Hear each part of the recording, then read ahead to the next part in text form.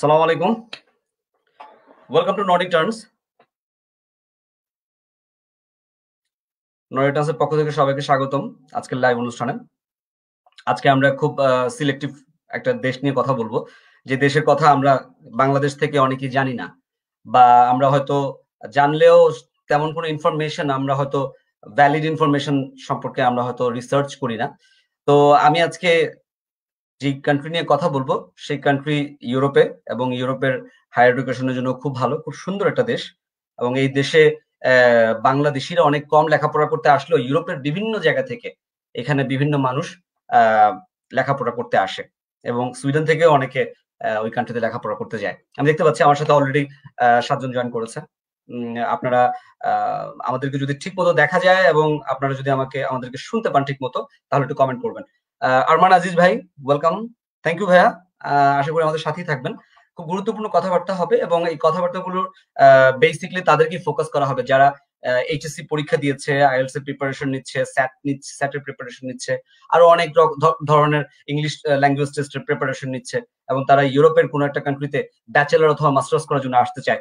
তারা হয়তো জানে না যে কীভাবে তারা প্রিপারেশন নিবে বা কোন কান্ট্রি তারা চুজ করবে। সেজন্যই নর্ডিক ট্রান্সের এই আয়োজন। ইব্রাহিম হোসেন ইমন ওয়েলকাম কাকা। Thank you Emon. Thank you for joining with us আমি ইনভাইট করছি আমাদের আজকের his guest and also member of Nordic turns আমাদের নর্ডিক টার্নস এর বিভিন্ন কান্ট্রি নিয়ে আমরা কাজ করা শুরু করেছি। আমাদের কান্ট্রিগুলোর মধ্যে প্রথম country Lutfur Rahman Sumon voice clear thank you Lutfur ভাই। আমরা সুইডেন নিয়ে তো কাজ করা শুরু শুরু করেছি। তারপর আমরা ফিনল্যান্ড নিয়ে কাজ করেছি। ফিনল্যান্ডের আমাদের কান্ট্রি ম্যানেজার আছে, তাকে নিয়ে তাকে নিয়ে কাজ করতেছে। ফিনল্যান্ডে যিনি আছে তিনি নরওয়ে নিয়ে কাজ করছে। কারণ নরওয়ে থেকে আমরা এখনও আমাদের কান্ট্রি ম্যানেজার কাউকে এখনও খুঁজে পাইনি তো আমরা, আমি অলরেডি সার্চ করছি এবং আমাদের পর্তুগালের কান্ট্রি ম্যানেজার আছে এবং আজকে যাকে আমি ইনভাইট করছি, সে আমাদের চেক রিপাবলিকের কান্ট্রি ম্যানেজার হিসেবে কাজ করবে। চেক রিপাবলিক ইউরোপে অবস্থিত এবং এই কান্ট্রি সম্বন্ধে আমরা ওনার মুখ থেকেই শুনব। সো আমি ইনভাইট করছি আমাদের আজকের country manager of Nordic Turns and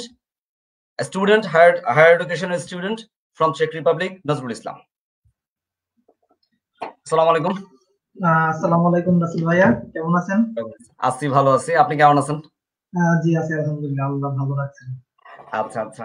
তো আমি অলরেডি একটা ইন্ট্রোডাকশন দিয়েছি যে আমরা আজকে কোন কান্ট্রি নিয়ে কথা বলব।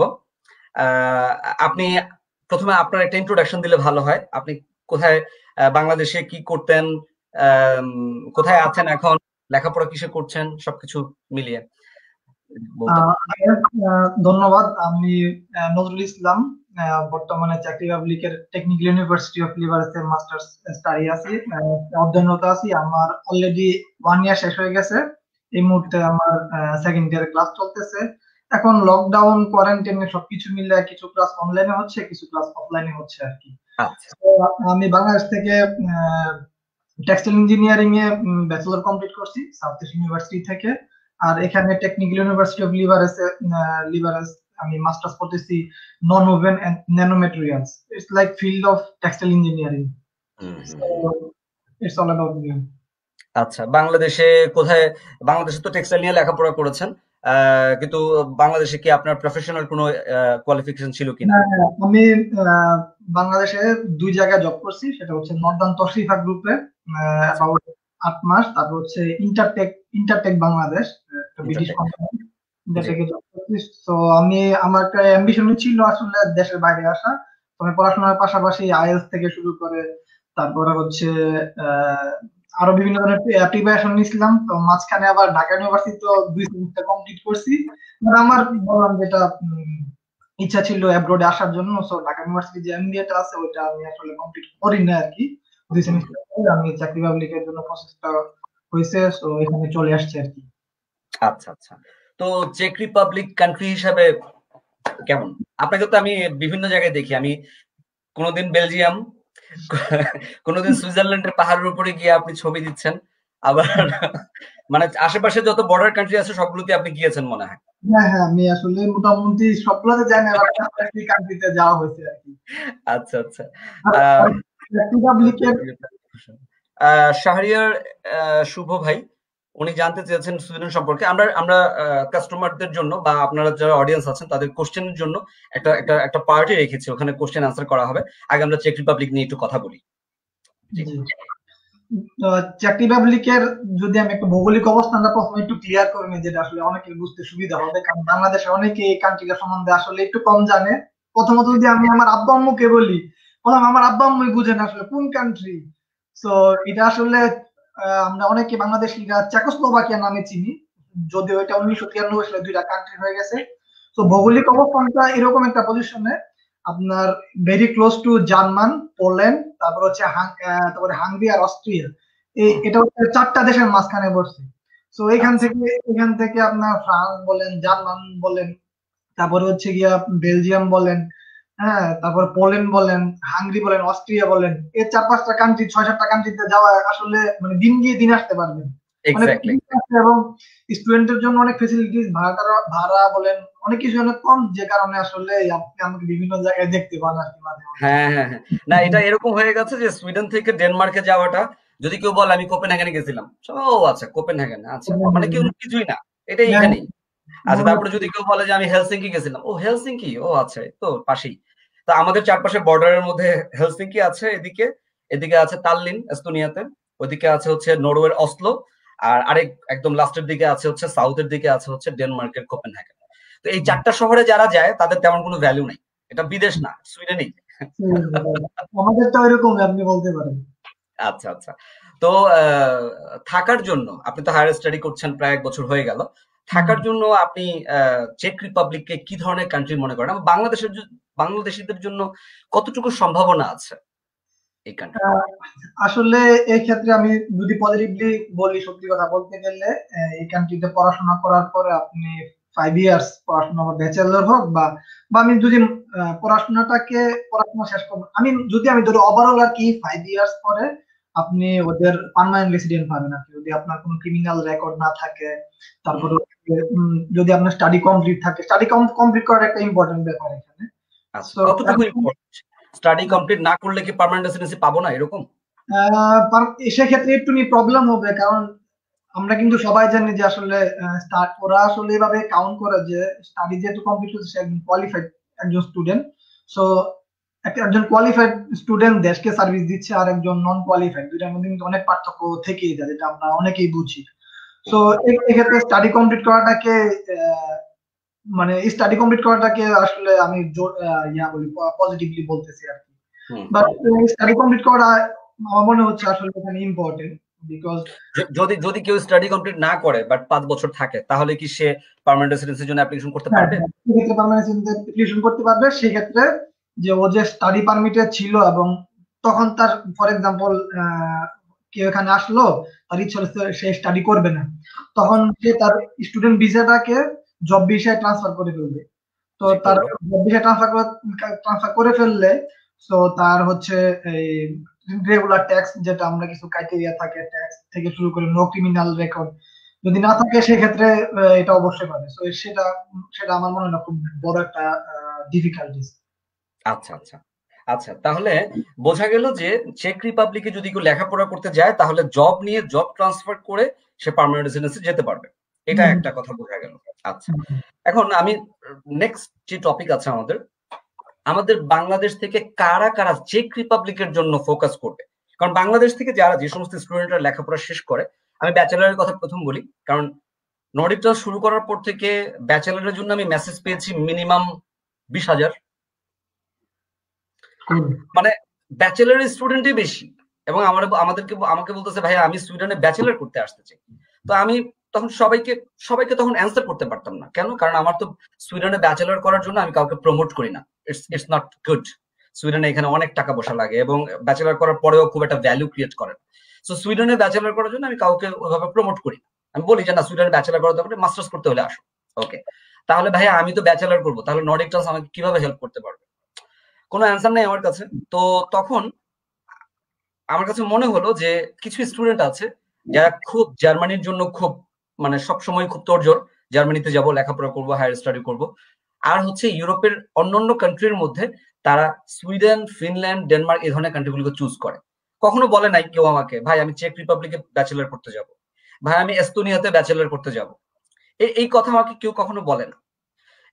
তাহলে কারা ফোকাস করবে চেক রিপাবলিকের জন্য? হোয়াট ইউ থিঙ্ক আসলে আমি আমি পার্সোনালি সুইডেনে মাস্টার্স করার জন্য অনেক ট্রাই করছি বাট পরে যে ব্যাপারটা দেখলাম আসলে স্কলারশিপ না পাইলে টিউশন ফিটা আসলে খুবই একটা ডিফিকাল্ট ব্যাপার এখানে সুইডেনে। ভেরি ভেরি আর আর আর একটা ব্যাচেলর স্টুডেন্ট তার জন্য তো এটা খুবই ডিফিকাল্ট কারণ বিকজ এটা থ্রি ইয়ার্স ফোর ইয়ার্স এত টিউশন ফি পার ইয়ার দশ থেকে বারো লাখ টিউশন ফি তেরো লাখ টিউশন ফি আসলে সম্ভব তো সেই ক্ষেত্রে আমি সাজেস্ট করব আসলে check Republic is the best choice প্রথমত হচ্ছে এখানে টিউশন ফিটা আপনার সুইডেনের তুলনায় পাঁচ গুণ কম যেখানে আপনি দিতে হচ্ছে দিতে হচ্ছে সুইডেনে বারো লাখ টাকা সেখানে হচ্ছে এক থেকে দুই লাখ টাকা ম্যাক্সিমাম আড়াই লাখ টাকা যাবে ম্যাক্সিমাম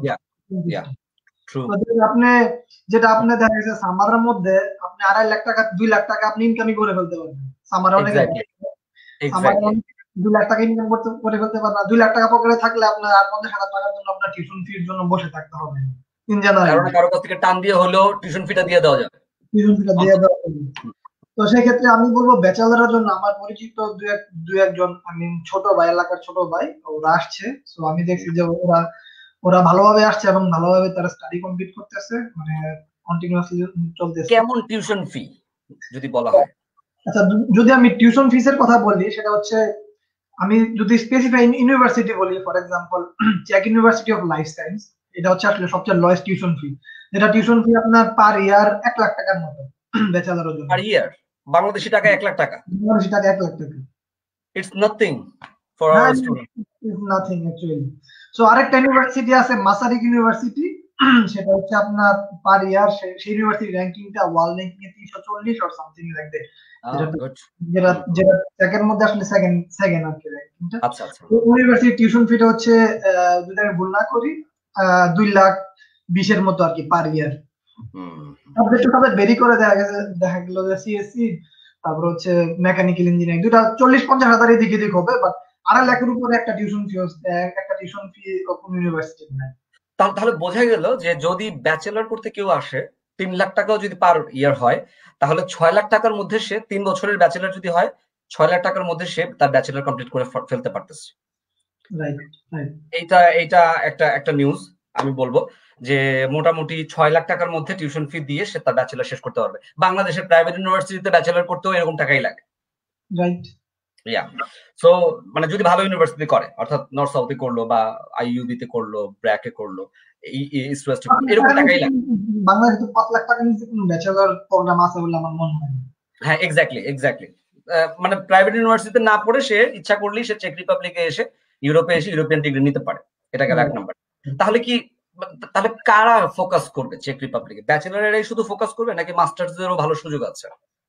নো ব্যাচেলার মাস্টার্স যদি আমি ব্যাচেলার অপরচুনিটি বলি 90% মাস্টার্স বলব 100% ওকে হুম আচ্ছা। হচ্ছে মাস্টার্স মাস্টার্স হচ্ছে আপনি একটা বাংলাদেশ থেকে ব্যাচেলার কমপ্লিট করে আসলেন তারপর হচ্ছে এখানে এসে আপনার টু ইয়ার্স বা ওয়ান এন্ড হাফ ইয়ার্স আপনার মাস্টার্স কমপ্লিট করে ফেলতে পারবেন যদি আপনার ওই ক্যাপাসিটি থাকে। ফর এক্সাম্পল আর মাস্টার্সে কেন আমি বলব একটা অপরচুনিটি কারণ হচ্ছে এখানে এসে অনেকে তার মানে ভালো মাস্টার্স কমপ্লিট করার পরে তো আপনার অপরচুনিটি বেশি থাকে। কারণ আপনি দেশে থেকে মোটামুটি কোয়ালিফাইড একটা ম্যাচিউর একটা ছেলে আসতেছে এখানে। মাস্টার্স আসার পরে দেখা গেছে তার সবকিছু দিক দিয়ে তার ক্যাপাসিটি অনেক বেশি থাকে। তার ম্যাচুরিটি বলেন তারপর হচ্ছে ফ্যামিলিকে করার যে একটা টেন্ডেন্সি ওইটাও বেশি থাকে। আমার পরিচিত দুইজন বাংলাদেশি ওনারা আসলে আমি দেখলাম যে লাস্ট সামারে অনেক ভালো টাকা পয়সা ইনকাম করছে তাদের ফ্যামিলিকেও সাপোর্ট দিয়েছে। সাথে টিউশন ফি সাথে টিউশন ফিসটাও ম্যানেজ ম্যানেজ করছে ওনারা সামারে ওকে তাহলে বোঝা গেল যে মাস্টার্স এর জন্য যদি কেউ আসতে চায় যদি কেউ চিন্তা করে যে মাস্টার্স এ সে চেক রিপাবলিকে লেখাপড়া করবে টিউশন ফির দিক দিয়েও সে একটা বেনিফিট পাবে। দুই নম্বর হচ্ছে যে সে যদি জবের চিন্তা করে জবের ক্ষেত্রে সে একটা একটা প্রায়োরিটি হয়তো পাবে ইউরোপের যে কোনো কান্ট্রিতে কারণ এটা সেনজেন ওকে গুড আমি আমি আমাদের নেক্সট যে কোশ্চেন আছে যে আমি already who should study in check Republic এটার অ্যান্সার পেয়ে গেছি। ব্যাচেলর ও মাস্টার্স দুজনকে নিয়ে আমরা কাজ করতে পারব, দুই সেগমেন্টের স্টুডেন্টদেরকে নিয়ে। কেন করবে তারা, কেন তারা এখানে করবে, এটার আমি অলরেডি অ্যান্সার পেয়ে গেছি। আমি কোশ্চেন নাম্বার থ্রিতে যাব। আমি জানতে চাচ্ছি যে বেসিক বেনিফিটগুলো কি কি? যদি একজন লাইফ স্ট্যান্ডার্ডের কথা চিন্তা করে, তাহলে চেক রিপাবলিকে লেখাপড়া করতে আসলে বেসিক বেনিফিটগুলো কি হবে? এটা আমি একটু জানতে চাই। বেসিক বেনিফিট প্রথমে যদি আমি এডুকেশনাল পারপাসে বলি সেক্ষেত্রে চাকরি চেক রিপাবলিকে কেউ যদি ব্যাচেলর অথবা মাস্টার্স করতে আসে ফর এক্সাম্পল মাস্টার্স এর কথাই বলি সেক্ষেত্রে ফর এক্সাম্পল মাস্টার্স চারটা সেমিস্টার কেউ চালে কেউ চালে তার দুইটা সেমিস্টার একটা সেমিস্টার সুইডেনে আরেকটা আরেকটা সেমিস্টার জার্মানিতে পড়তে পারবে। সেক্ষেত্রে তারা সুইডেনে যাওয়ার পর দুই হাজার ইউরো পাবে এভারেজ জার্মানিতে যাওয়ার পর দুই হাজার ইউরো তারা গভর্নমেন্ট থেকে পাবে। ওকে তার মানে হ্যাঁ হ্যাঁ। এখানে এখানে একটা বেসিক বেনিফিট এটা হয়ে যাচ্ছে। ভেরি নাইস আর আর কিছু? সেটা হচ্ছে এটা হচ্ছে ইরাসমুস প্রোগ্রামের কথা বললাম আর কি। ইরাসমুস হ্যাঁ। ইরাসমুস প্রোগ্রামে আর সেটা হচ্ছে অন্য অন্য ইউরোপিয়ান কান্ট্রি ফর এক্সাম্পল যদি আমি বলি ডেনমার্ক বলি বা সুইডেন বলি বা জার্মান বলি ওদের একটা ওয়ার্কিং আওয়ার একটা লিমিটেশন থাকে। ফর এক্সাম্পল আপনি অ্যাজ এ স্টুডেন্ট হিসেবে আসলে ডেনমার্ক বা সুইডেন বলেন টোয়েন্টি আওয়ার্স এর বেশি জব করতে পারবেন না। যদি আমি বলি সুইডেনে সুইডেনে এটা নাই। সুইডেনে করতে পারবে। জার্মানিতে বা ডেনমার্কে বা নেদারল্যান্ডে অনেক অনেক কান্ট্রি হ্যাঁ নেদারল্যান্ডে আছে আচ্ছা এই ফেসিলিটিসটা সে পাবে তার জন্য আসলে অনেক বেশি অপরচুনিটি থাকবে। সে তাহলে চাইলে তিরিশ ঘণ্টা উইকেন্ডে আবার সে চল্লিশ ঘণ্টা জব করতে পারবে। সো জব করাটা কোনো প্রবলেমই না আসলে। আচ্ছা। তো আমি আমাদের নেক্সট কোশ্চেনে চলে যাব। কারণ আমার কাছে মনে হলো যে বেসিক যে বেনিফিটের কথা আপনি বললেন একটা বললেন ইরসমাসের জন্য। আর একটা হচ্ছে যে জবের বেনিফিটটা বললেন। কিন্তু যদি সে ওয়ার্কে কোনো একটা ওয়ার্কে মুভ করে ধরেন জব অপরচুনিটিতে মুভ করল একটা জব সে পাই পাওয়ার পরে এখন সে জব পারমিটে যাবে। জব পারমিটে যাওয়ার পরে কি সে এমন কোনো বেনিফিট পাবে যেটা তাকে ধরেন যে যেমন সুইডেনের ক্ষেত্রে আমরা বেবি হইলে বেবির জন্য একটা বেনিফিট পাই স্কুলটা ফ্রি এরকম একটা বেনিফিট পাই। তারপর আমরা এখানে অনেক ধরনের বেনিফিট পাই সুইডেনে অবশ্য।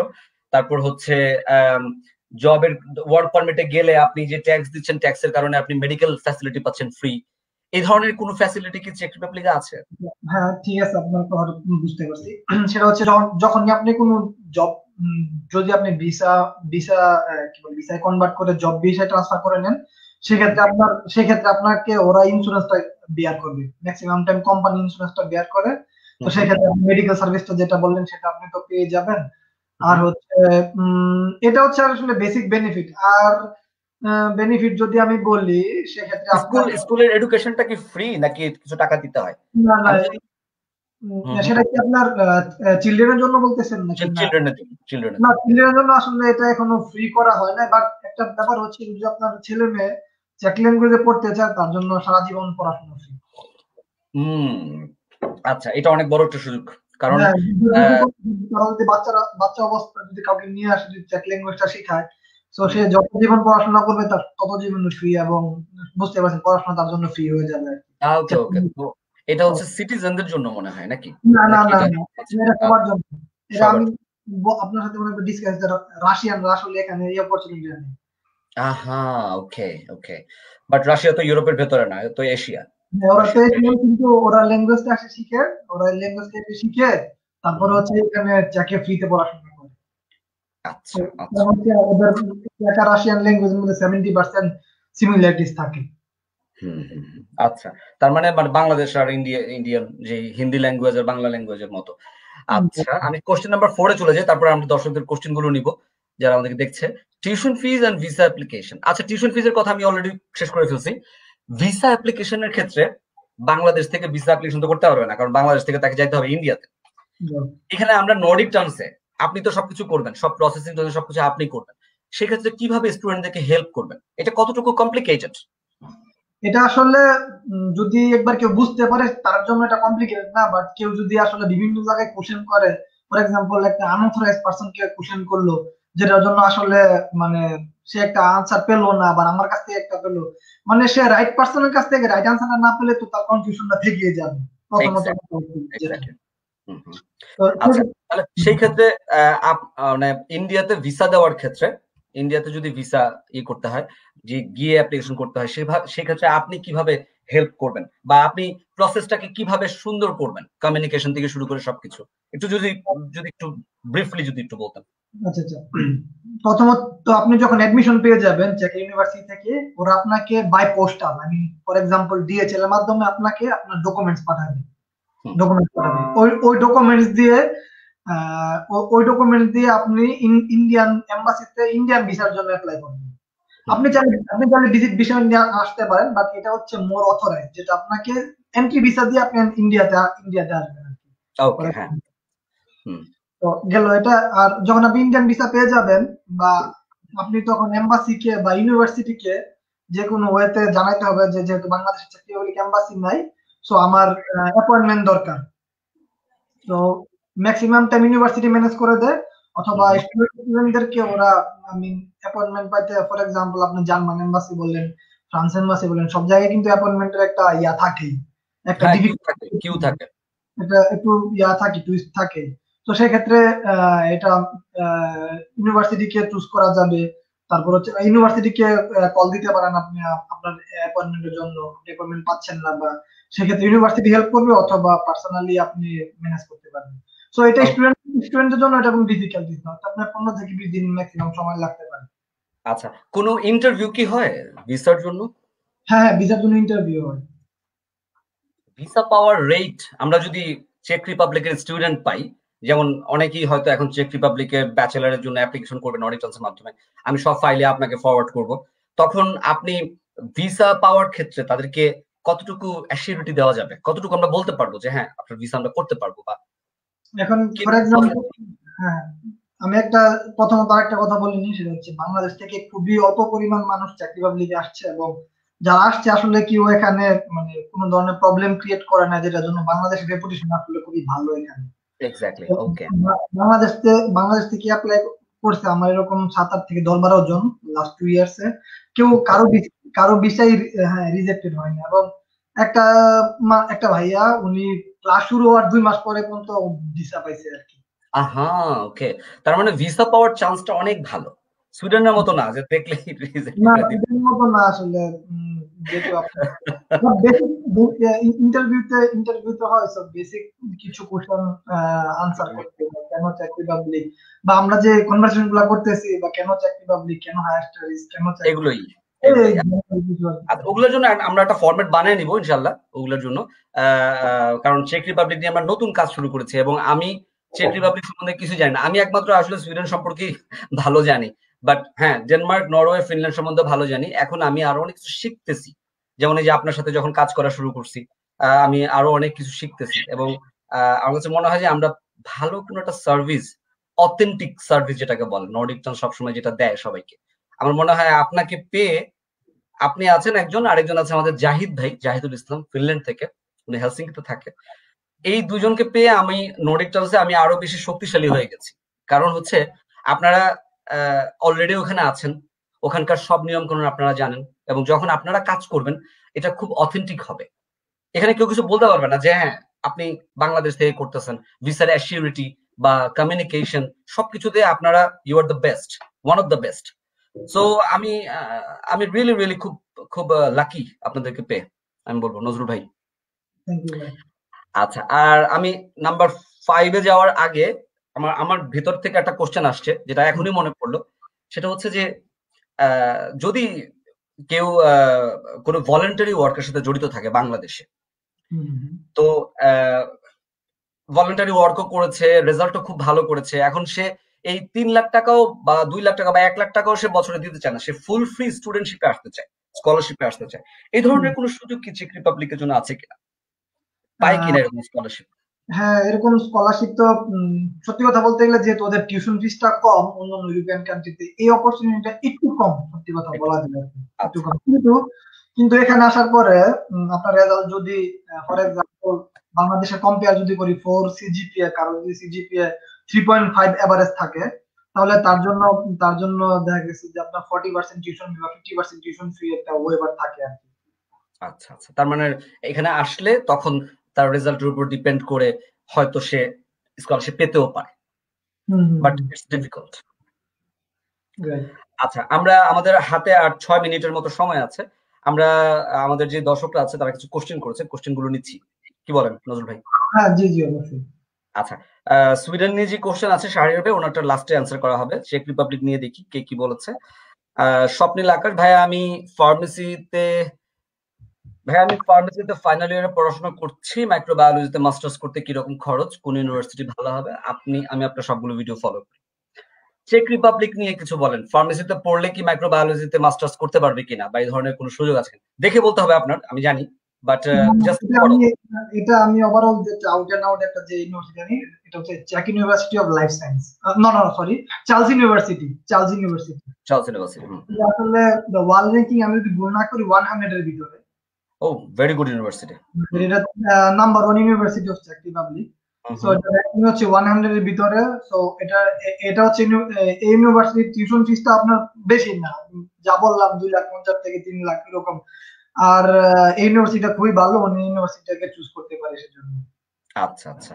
আচ্ছা আমি চলে যাচ্ছি Tuhin Bhuiyan. Nice to see you here with Alon ভাইয়া ওকে তুহিন ভুইয়া আপনি কি চিনেন নাকি তুহিন ভুইয়াকে? হ্যাঁ জি জি আমি চিনি। আপনার বন্ধু মনে হ্যাঁ। আমার ইউনিভার্সিটির বড় ভাই আচ্ছা আচ্ছা। আচ্ছা কৌশিক আমি দেখি মাস্টারে থ্যাংক ইউ তুহিন ভাইয়া আমাদের সাথে থাকার জন্য। মাস্টার স্টাডি গ্যাপ কেমন হলে চলবে? আচ্ছা স্টাডি গ্যাপের জন্য কোশ্চেন করেছে কৌশিক খন্দকার সোহাগ ভাই। স্টাডি গ্যাপ থাকলে কি হবে কিনা? মাস্টার্সের জন্য স্টাডি গ্যাপ কোনো প্রবলেম নেই। সেক্ষেত্রে ফর এক্সাম্পল উনি উনার জব দেখাবে যে আমি জব করছি এত বছর সাত বছর আট বছর ফর এক্সাম্পল এরকম। তো আমার পরিচিত একজন আসছে উনি আমাদের বা সাত আট বছর স্টাডি গ্যাপ ছিল মাস্টার ব্যাচেলর কমপ্লিট করার পরে সো মাস্টার্স উনি আসছে আর কি। তো এখানে ব্যাপারটা হচ্ছে ইম্পর্টেন্ট যে আপনি পড়তে আসতেছেন আপনাকে দেখাইতে হবে যে আসলে আমি পড়াশোনার জন্য ইন্টেনশনটা ওই মোটিভেশনটা ওইভাবে ইয়া করতে হবে স্টাডি করে এখানে আসলে কোনো সমস্যা নেই। আচ্ছা আচ্ছা। না যখন সে নো রিটার্নস এর মাধ্যমে অ্যাপ্লিকেশন করবে তখন তো তাকে ওরকম কেয়ার নিয়েই তার সবকিছু করা হবে। So that's another thing but of course হ্যাঁ মোটিভেশনটা ওইভাবে থাকতে হবে যে আমি পড়ালেখা করতে আসতেছি। আচ্ছা শাহরিয়ার শুভ ভাই চেক রিপাবলিকে মাস্টার মাস্টার ডিগ্রি বিজনেস ব্যাকগ্রাউন্ডের ফিউচার কেমন? ফিউচার নিয়ে তো আমি একটু অ্যান্সার করি এটার। আসলে ফিউচার নিয়ে বলা খুব কঠিন, শাহরিয়ার ভাই। কেন? কারণ হচ্ছে ফিউচারে আমি বাংলাদেশে যেখানে জব করতাম, আমি যখন সুইডেনে আসছি, আমি চিন্তা ভাবনা করে আসি, এখানে আসার পরে আমাকে হয়তো সবার মতো বাসন মাজতে হবে বা হয়তো আমাকে যে কোনো কাজ যেটা পাই সেটাই করতে হবে।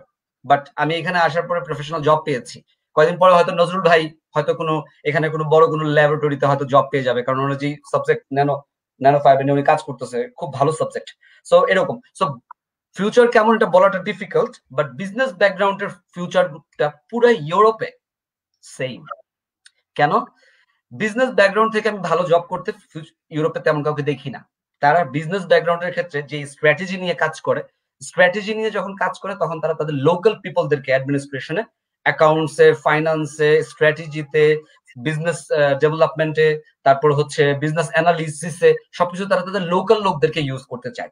বাইরে থেকে লোক নিয়ে বিজনেসে তারা ঠিক মতো ওইভাবে রিক্রুট করতে চায় না। আমার এই উত্তরে নজরুল ভাই কিছু অ্যাড করতে চান কিনা? বা কি মনে করেন আপনি?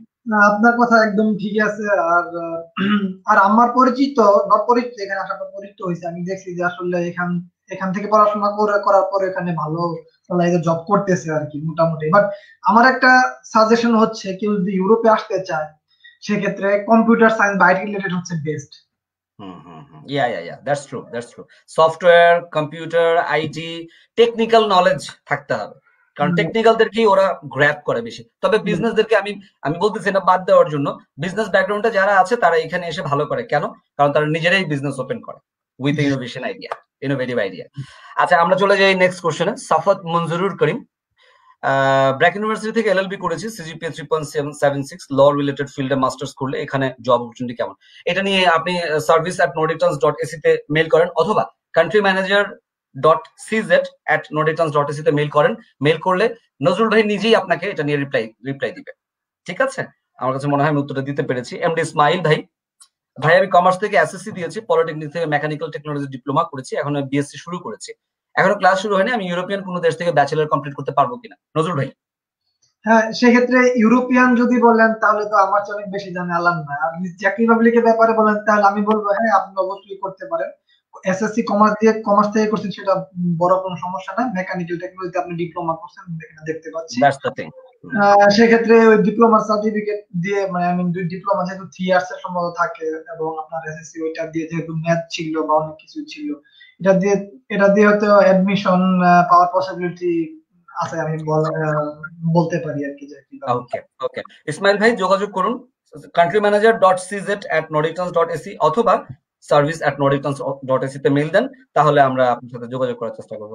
ফ্যামিলি সহ কি যাওয়া যাবে কিনা? চেক রিপাবলিক ফ্যামিলি সহ প্রথমে সুইডেনের মতো আসা যায় না আর কি যেমন সুইডেনের স্পাউস যে কোনো একজন ভিসা পাইলে সাথে সাথে অন্য ভিসা একদম ওপেন ব্যাপারটা এরকম না। এখানে যদি বন্ধ করে দিবে বেশি দিন থাকবে না এটা?